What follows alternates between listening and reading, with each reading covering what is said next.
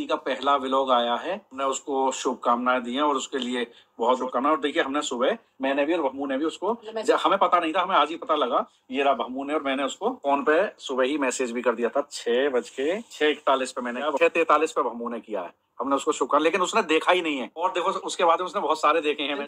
पर ये मैसेज नहीं देखा उसने। पर हमने अपनी तरफ़ क्योंकि माँ बाप है हमने अपनी साथ अपनी तरफ़ से उसको डाला। और मैंने कॉल ये देखो नीचे मैंने कॉल भी की उसको सात बज के पचपन मिनट पर। मैंने कॉल भी की उसने कॉल भी रिसीव नहीं की। पर माँ बाप है माँ बापों का तो मन होता है ना बच्चों के लिए। हम फिर भी उसको सामना देते हैं उसका ब्लॉग अच्छा चले उसकी लाइफ में सब कुछ अच्छा हो। थैंक यू तो ये क्लिप आपने देखी? माँ बाप कितने ज़्यादा जो है वो मजबूर होते हैं। अपनी बेटी जो है वो उसको मैसेज कर रहे हैं कॉल कर रहे हैं, जो वो रिप्लाई नहीं दे रही यहाँ तक कि जो है वो उन्होंने हर चीज़ जो है उन्हें विश भी करी, सब कुछ करी। ये नीतू के लिए जो है वो बर्थडे की जो है वो स्टोरी तक लगाई थी बम्बू ने, लेकिन उस तक का जो है वो रिप्लाई नहीं दिया। यहाँ तक कि बस ये बोल दे कि लोग स्टोरी लगाते हैं ना कि जो है वो हमें पर्सनली मैसेज करते हैं क्या ये माँ बाप के साथ ये सब करना सही है? आप कॉमेंट करके ज़रूर बताएँ।